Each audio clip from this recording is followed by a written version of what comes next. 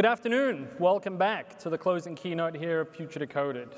My name's Steve Clayton. I'm the chief storyteller at Microsoft, and it's the second time I've been up on this stage, and it's great to be back in the UK, where I'm originally from, despite the slightly odd accent that sits somewhere between here and Redmond these days. But I'm excited this afternoon to take you on this journey, the story of quantum computing. You heard this morning, you saw this slide actually from Panos, and he talked about these three trends in technology. And in fact, in chapter six of this book, Hit Refresh, that hopefully some of you may have seen or read, that Satya published last month. So Satya Nadella writes in this book in chapter six, he calls it Beyond the Cloud. And when he talks about beyond the cloud, he talks about these three technology areas. And you've heard a great deal, at least about the first two today, and maybe some of you have been to the breakout sessions we've had today on quantum computing. But you've heard about mixed reality. You've heard about artificial intelligence, how it's being infused throughout all of Microsoft's products and is going to be this tidal wave of technology in all of our products and services over the next few years. But we're going to spend the next 45 minutes or so talking about quantum computing. And this is a radically different thing. So if any of you are sat out there with your red hat on you got from the expo from Red Hat, it's time to hold on to your hat. Because this is a completely different field of technology. It's a phenomenally exciting area of technology. And I'm excited to be able to bring two of our greatest researchers to talk about it here today. But a little bit of why are we talking about quantum computing? Why, in fact, does the world need quantum computing? We have enormous computing capability today in Azure, 40 Azure regions around the world. Each of those regions capable of being able to, in the data center, the size of each of those data centers could store 16 jumbo jets. So we're not short of computing power. We have almost infinite computing power. But there are still some technology challenges that are outside of the scope of that computing power. If we want to see Blue Planet 3 then we're going to have to do some work around climate change. And quantum computing could be the technology to help us unlock some of those challenges around climate change. We want to have breakthroughs in food production to enable all of the planet to be able to eat and have a healthy diet and to be able to simply have food. Quantum computing, again, could be the technology to unlock some of the breakthroughs in that field. And if we want to find work around antibiotic resistance in medicine and healthcare, some of the challenges that still lie there, they are still grand challenges that can't be solved with today's classical computers. So that's why we're here today to talk about quantum computing, to sort of go under the covers a little bit, to understand what this technology is all about and why it will unlock those frontiers of technology and frontiers of grand challenges that we have as a society. Now, Microsoft has amassed a dream team Literally, our global quantum dream team operates around the globe, from Redmond to the Netherlands, the UK to Sydney. Across the globe, we have a team of some of the leading experts in the world on quantum. And I'm delighted to have two of them here today to take you down under the covers and explain a little bit what this technology is all about. And this is what we're going to talk about over the next 45 minutes or so. Why quantum computing is different it literally is a fundamentally different type of computing. How Microsoft is building a quantum computer. How our approach is unique. There are other companies, other industries who are looking at quantum computers. There's been lots of news around it recently. But Microsoft is genuinely taking a unique approach in something we call the topological qubit that you'll hear about uh, in the next few moments. And we'll talk about some of these grand challenges and how we'll be able to address them using the power of quantum computing. So let's get started. Quantum computing really is different. Most of us in the room probably know about classical bits, about ones and zeros. But we're going to hear a little bit about quantum bits and how they are dramatically different down at the physical level, down at the atomic level, to allow us to build these quantum computers. So it gives me great pleasure to welcome a friend of mine, Dr. Leo Kouwenhoven from our research institute in the Netherlands to come and talk a little bit about the first part of this story. Please welcome Leo to the stage.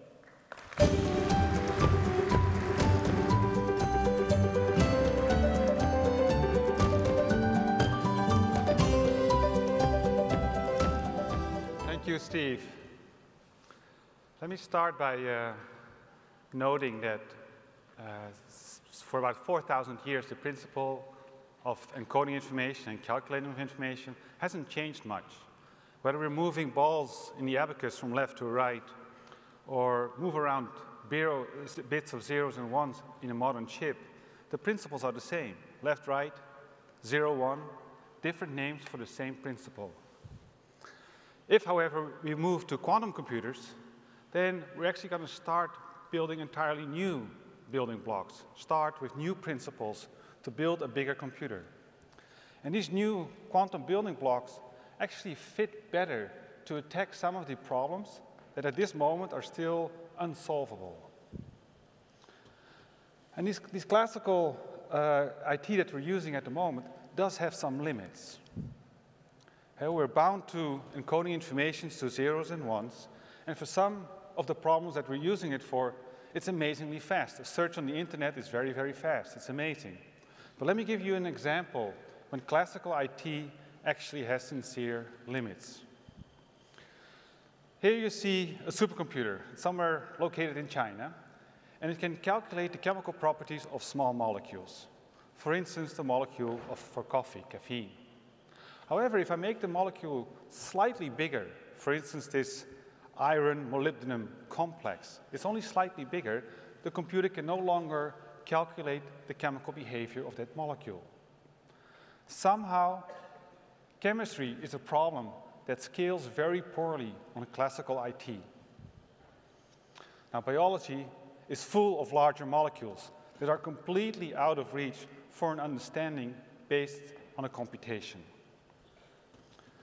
For quantum mechanics, or quantum IT, the principles of the quantum mechanics is that we're actually you know, invented or thought about uh, in the context of, of small particles.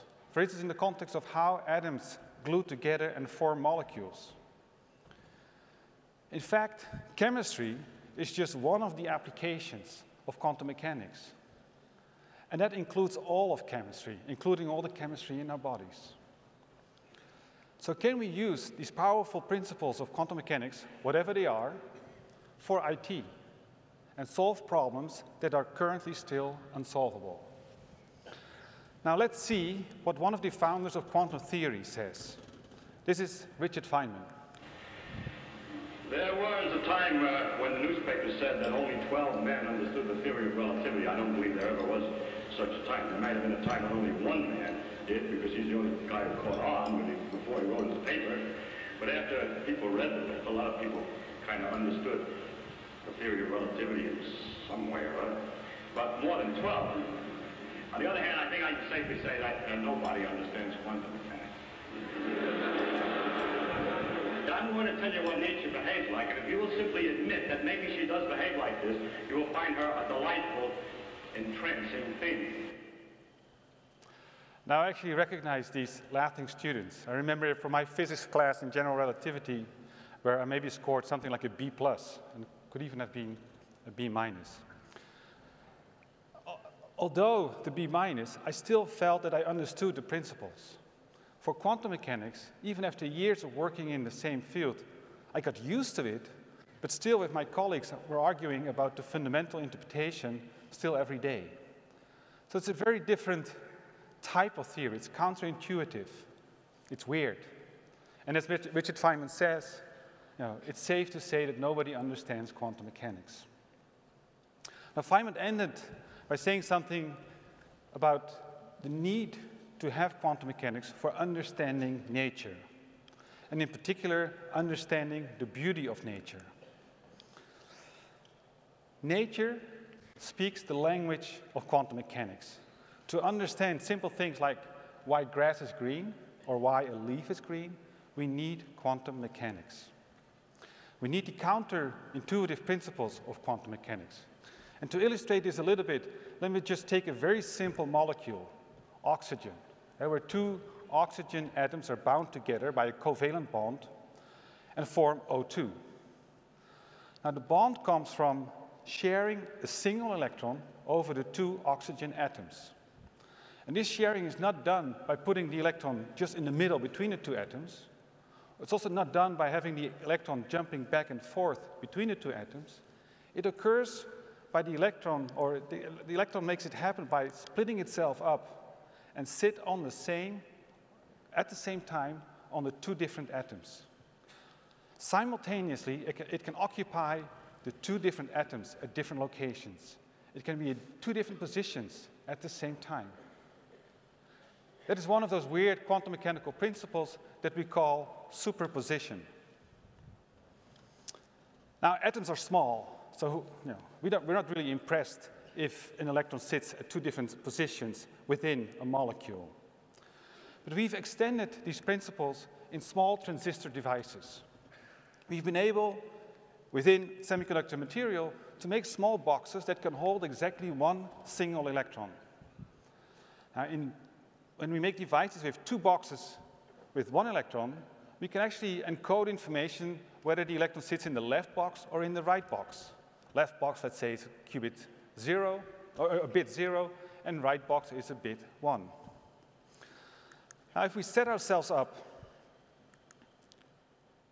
if we set ourselves up, yeah, we're setting ourselves up for having just one electron in the left box.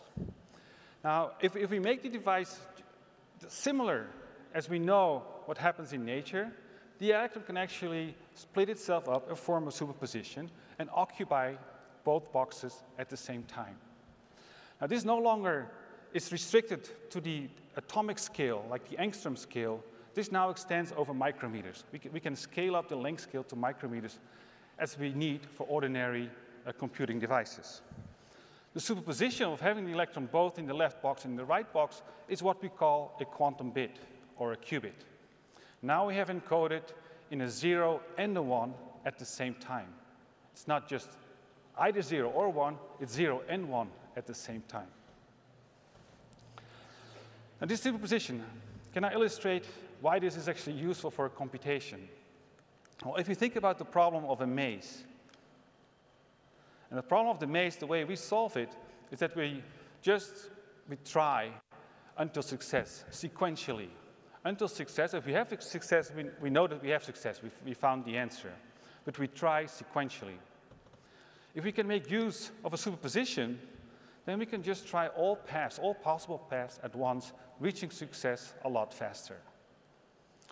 So doing computations in parallel can reach, for, at least for certain problems, success much faster. Now qubits, quantum bits. You may have heard the story of Schrodinger's cat. Schrodinger's cat that can be dead or alive at the same time. It's, it's, a, it's popularized in many you know, texts and many uh, you know, popular writings on quantum mechanics.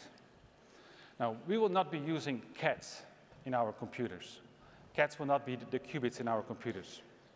We will use a quantum particle that was first proposed by an Italian physicist, and somehow it loses signal, by an Italian physicist, Ettore Majorana. And Ettore Majorana predicted the particle in 1937, a mysterious particle that was actually never detected until a few years ago. And normal particles, like an electron, have a charge and a spin.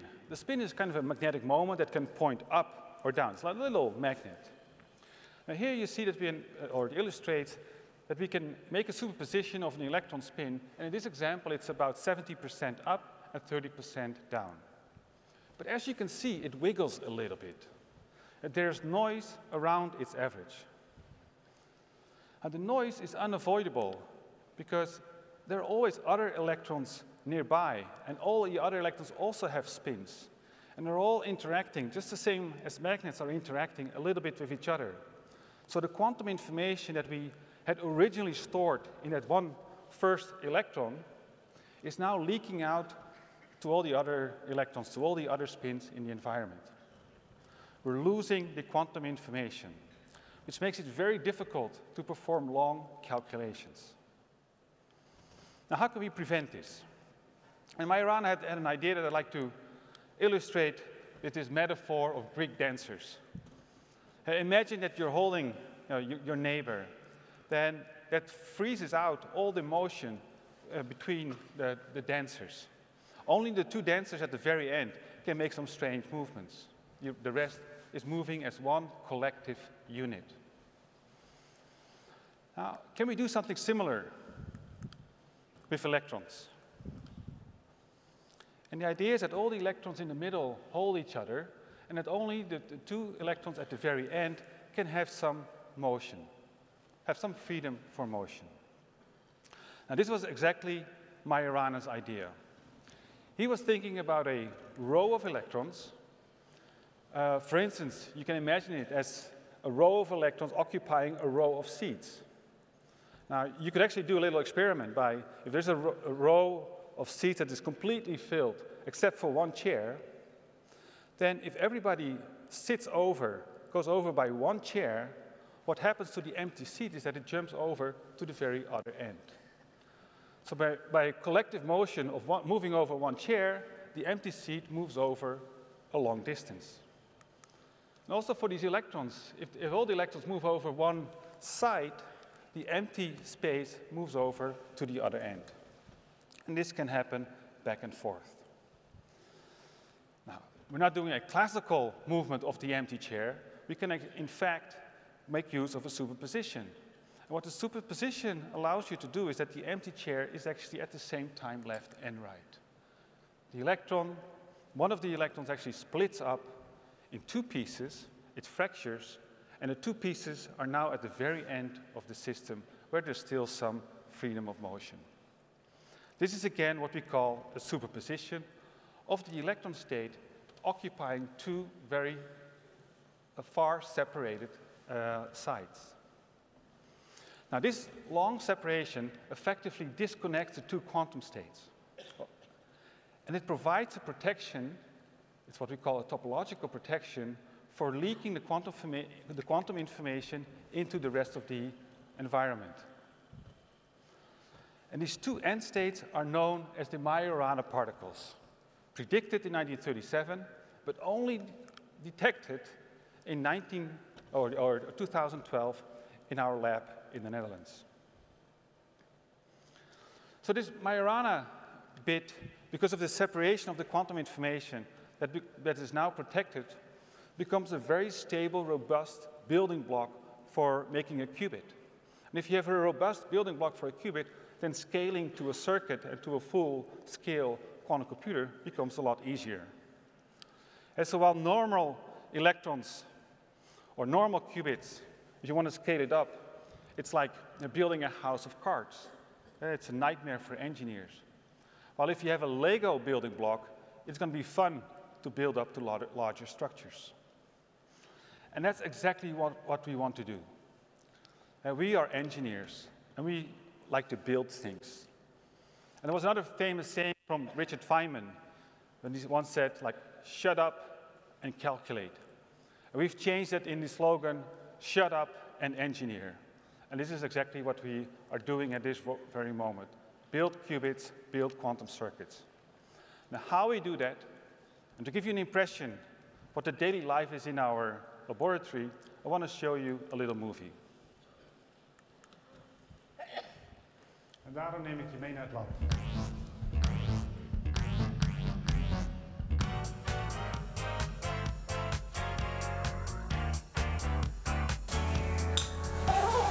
Hier zijn we in de cleanroom, dus kom maar mee kijken waar we die qubits aan het maken zijn. Hier zijn we in een uh, speciale ruimte met een andere kleur licht. Voor eigenlijk is het heel standaard uh, scheikunde. We hebben gewoon een, een, een, vlak substraatje. Er moet een lichtgevoelige laag op aangebracht worden. Verwarmen het en die chip die wordt zelf gebakken. Hier heb ik uh, zo'n voorbeeld chip. Dat chipje kunnen we in dit apparaat stoppen. Die gaat dan over dat chipje een bepaald patroontje schrijven. En door daar een bepaald patroontje te definiëren op de computer, kunnen we qubits maken. Dus eigenlijk hebben we nu uh, de basispatronen, maar er moet nog wat extra's op. Zien hier een heel groot apparaat. Hier maken we hele fijne materialen. Eigenlijk zijn het hele dunne draadjes die uh, veel dunner zijn dan een haar.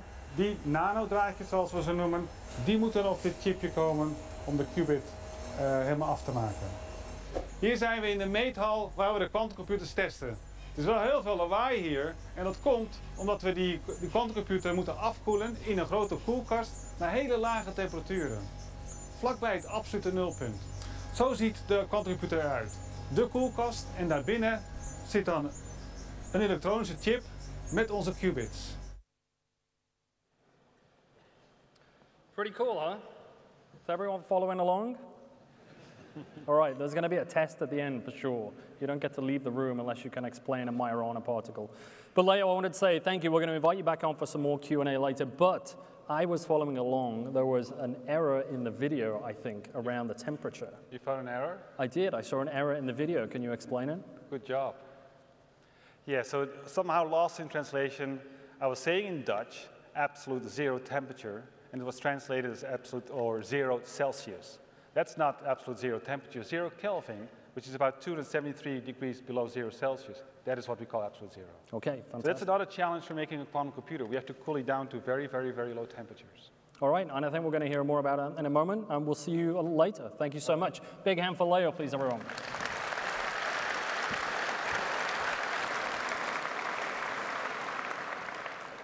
So there genuinely will be a test later on. You don't get to leave without passing the test.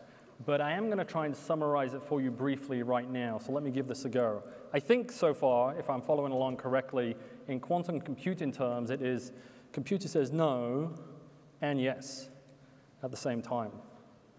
No, didn't work. That was my vague attempt at a joke. Didn't work. Maybe we'll just move on. So we're going to take you into the second part of the story, the twist in the story, around these qubits.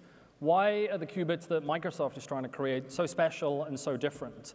And it is a very different approach that we are taking.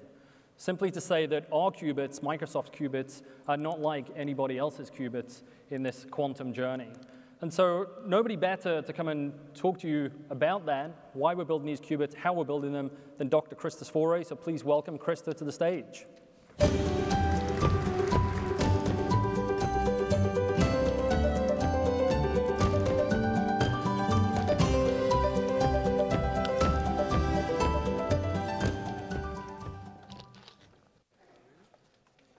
Tell you about the software, the tools that we're going to use to program this amazing quantum computer, and the qubits that Leo has just uh, showed to you, uh, and, and the large comprehensive stack.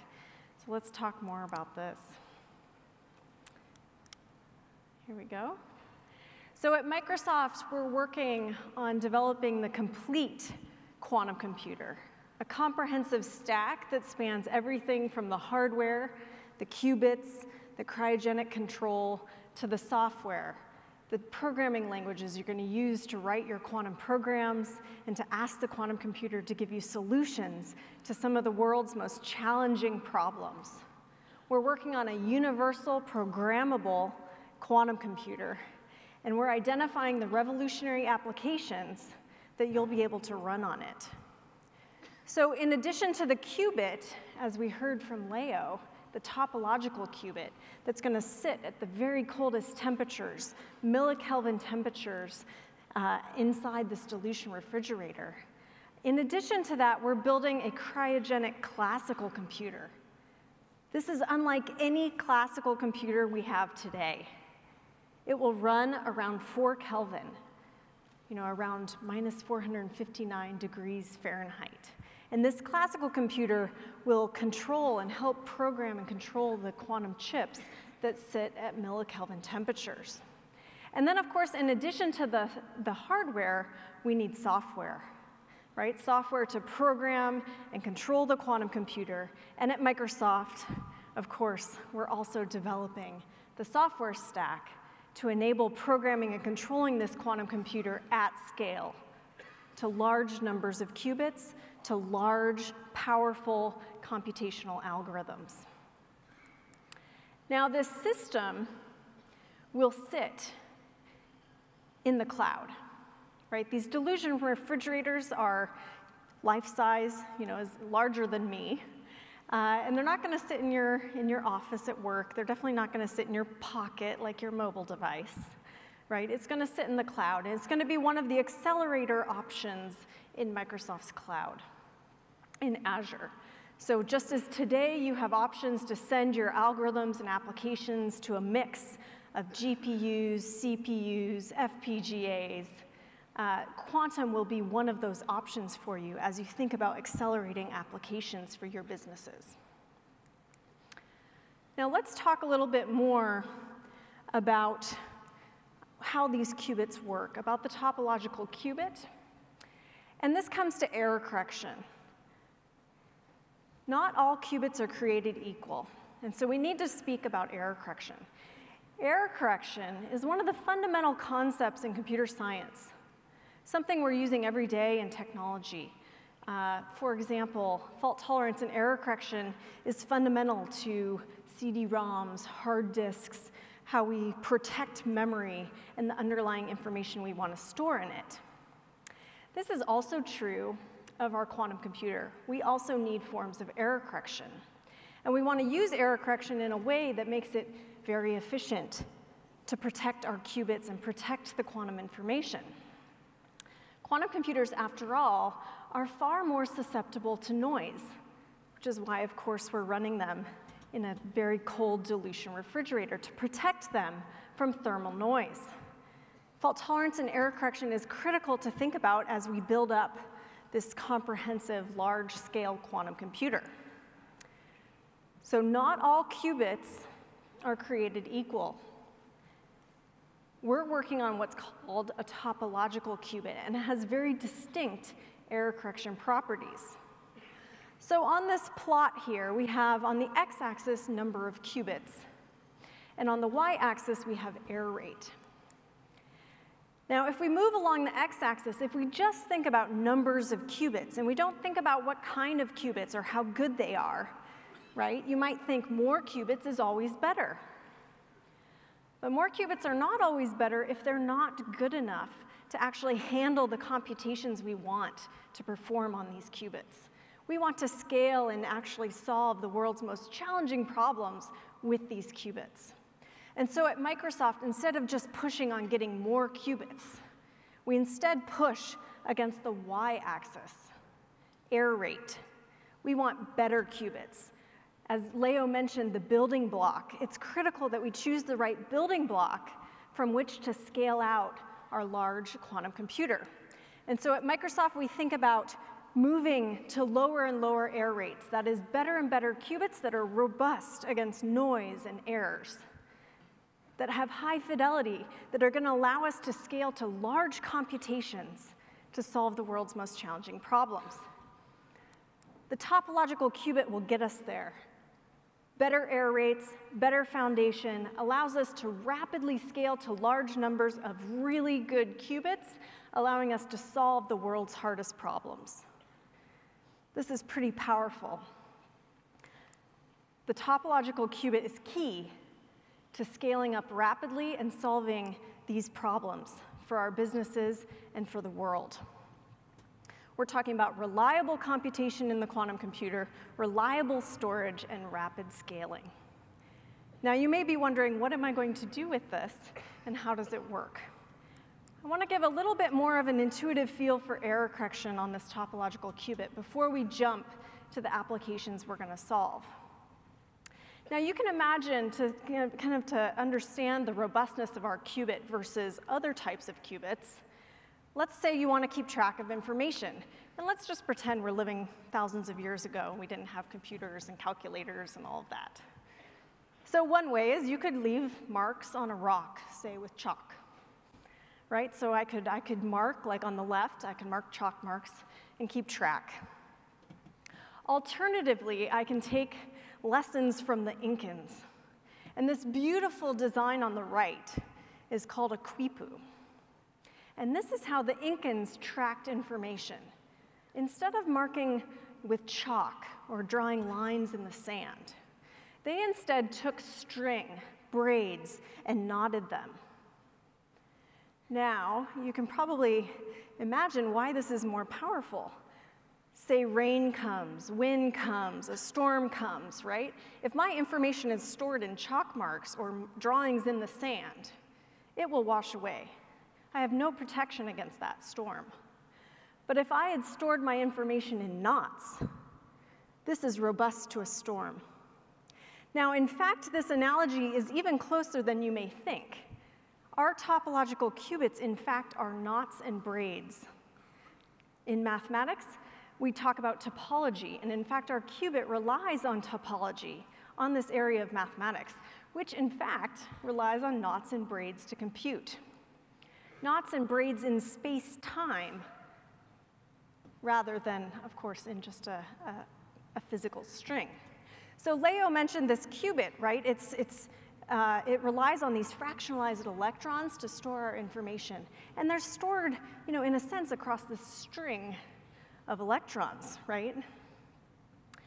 Now, if we want to compute with this, this uh, set of electrons, with this, this qubit, this type of qubit, envision it like a string, and now let's take a few of them.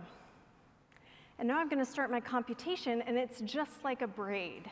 In time, I start to braid the information from the qubits, and I can create these intricate patterns just like the Incans did with their quipu. And in fact, these patterns encode my quantum algorithm and allow me to complete complex operations and solve very challenging problems. And it does so in a protected way. So Leo showed these wiggling electrons, right? The wiggles in his slides. Imagine these strings are wiggling, like a jump rope. If I wiggle the strings of my braid, it doesn't change the braid. It's protected against that kind of noise, this wiggling noise.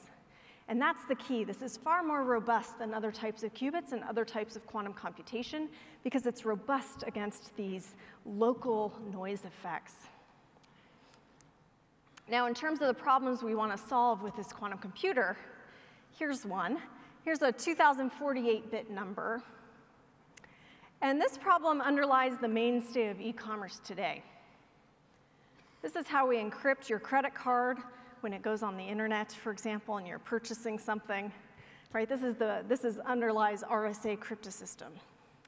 Now, if you can tell me the two primes that I multiplied together to get this number, you would probably have a lot more money because you'd know everyone's, uh, everyone's credit card numbers.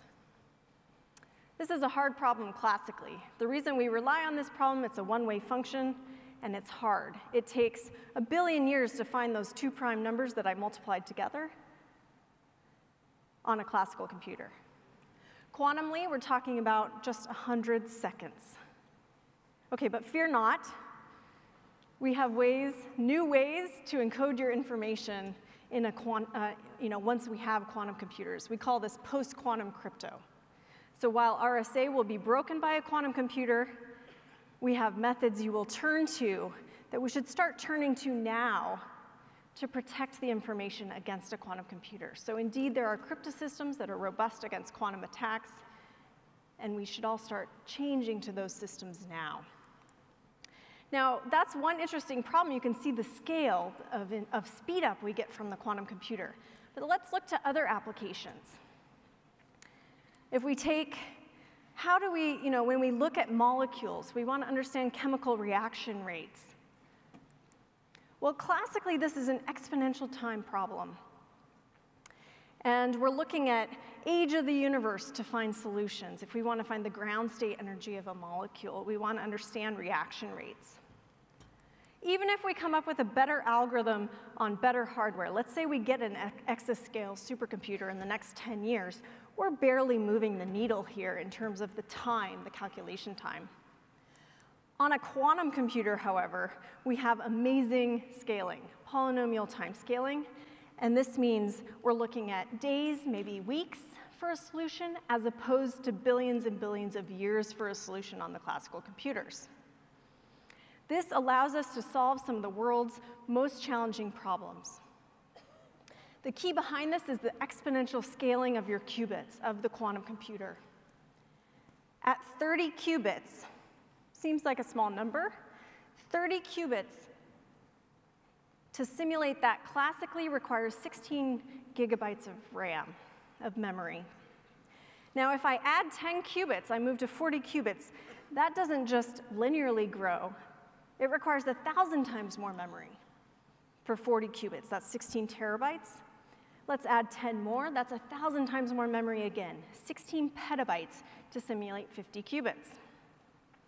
Now, if I move to something like 260 qubits, I'm looking at more atoms than there are in the visible universe. That's a pretty powerful machine. Now, that's only 260 qubits. We're talking about scaling to thousands with Microsoft's quantum computer. Imagine the power. That power we can use to solve very challenging problems. Problems like nitrogen fixation. Why do we care about nitrogen fixation? Artificial fertilizer production, helping with the world's hunger. We want to more efficiently produce fertilizer. Currently, we use a process from the early 1900s. It consumes something like 3% of the world's natural gas, just for fertilizer. Let's improve that. We can use our quantum computer to improve that by finding a catalyst to make that reaction more efficient. Similarly, in carbon capture, we can look to find a catalyst to help us extract carbon from the atmosphere, improve and take steps towards combating global warming. Material science, we can look to improve clean energy solutions. We can study materials on the quantum computer. Problems that take billions of years classically, we can solve in a matter of days or weeks on our quantum computer find a material that superconducts at higher temperatures, enabling, say, lossless power transmission. And in machine learning, we can look to nature, nature that always, you know, already is using quantum mechanics to do amazing things every day. What if we harness that kind of problem, you know, that kind of computation for machine learning? Imagine how that transforms speech, vision, models of users, models of data as we use quantum models to take machine learning to an entirely new level. Now, how am I going to do all of this without tools? Right? I entered quantum computing because I wanted to find out how I could actually program this device. What kind of tools do we need? And I'm really thrilled to announce that Microsoft is releasing a quantum development tool set in preview by the end of the year that allows you to take this and program quantum computers and develop quantum algorithms. It comes with a quantum programming language specific to quantum computing that really allows you to harness the amazing quantum mechanical effects to come up with solutions to your hard problems. It comes integrated in Visual Studio. You get code colorization, debugging, the ability to step through your program, and then just the ability to access, it's more accessible. Many have used Visual Studio before, of course. And then it comes with a quantum simulator so you can test and debug your quantum algorithms locally on your PC, as well as a quantum simulator in Azure that allows you to scale and test on more than 40 qubits. So I encourage all of you to join our quantum community. Please sign up to gain access to our software, learn more about Microsoft's comprehensive approach to quantum computation at microsoft.com slash quantum. I look forward to having you join our Microsoft community and helping us uh, start and empower the quantum revolution together. Thank you. You want to stay on? Stay on. All right, so I think everybody in the room now feels smarter than they did 40 minutes ago. Thank you so much, Chris. That was fantastic. I also want to invite Leo back on stage and just ask a couple of questions uh, before we wrap up the session here. So please welcome back Leo to the stage.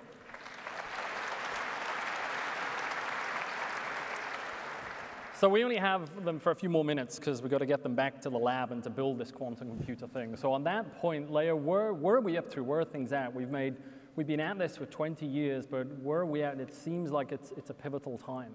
It is, and uh, we actually now know what we have to do. So we assembled all the necessary equipment. You saw some of the pictures of these uh, giant stainless steel, actually material growth machines. Uh, we hired the people, people in material science and engineering and uh, nanotechnology and in physics, uh, and we're ready to, to build the system. Initial experiments are successful. Uh, we see the right Majoranas that are, you know, are let's say robust. They're very strong. And uh, next step is to make the qubit. Okay. I asked the team about this recently. I said, how's it going making the qubits? And they said, we have some really good ones wiggling in the fridge. I wasn't quite sure what that meant, but it sounded cool. And so, Krysta, tell us a little bit about this, uh, this global team, the importance of the team that we've amassed and the, the different backgrounds they come from. Yeah, so hopefully from this presentation, you can see the diverse set of tasks that we have uh, to tackle to realize a comprehensive, fully scaled out quantum computer. And this includes everything from the qubit technology to engineering the cryogenic control to a brand new cryogenic classical computer, you know, all the way up to the software and then the algorithms themselves. And this really does require a global dream team, a set of people that come from mathematics, physics, from industry, from academia. Um, and so at Microsoft, we've really brought together people from a diverse range of fields and a diverse range of environments to tackle this problem and bring forward a comprehensive solution for quantum computing. And so then in terms of next steps for people, you talked about a moment ago, we've got a set of technologies coming. How should people prepare for this quantum era? How should they be thinking about it? Where, where can they go learn more? Well, I think step one is visit microsoft.com slash quantum uh, to gain access to learn more about the solutions we're developing at Microsoft, but then also to get your hands dirty, to jump in, try your first Quantum Hello World program, join us in building the applications for these amazing machines. Um, definitely get, get dirty and get in the code. All right, sounds good. Well, please, uh, big hand again for both Krysta and Leo. I'll let you both get back to the lab and to build that quantum computer. Thank you so much.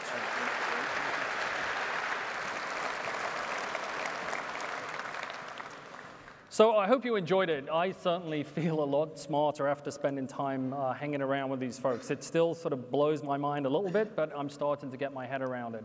But just to summarize, this is the approach that Microsoft is taking. It is a revolutionary, in fact, unique approach around this topological qubit to enable us to create a qubit that requires much less error correction, a unique approach. Also, this global team that we built around the world, bringing together, as Krysta said, academics, physicists, mathematics, all into one dream team that we think is on the cusp of doing something magnificent with quantum computing. And then the final piece, building this scalable end-to-end technology, scalable in the sense of being able to not have to require millions of qubits to do that error correction, but also scalable in the sense that we're building this thing all the way from the bottom of that refrigerator, the coldest place on Earth, maybe, the coldest place in the universe, all the way to the top of that stack to build the software and the tools in an environment that you're familiar with, inside of Visual Studio, to be able to go and program the quantum computer just the way that you program computers today.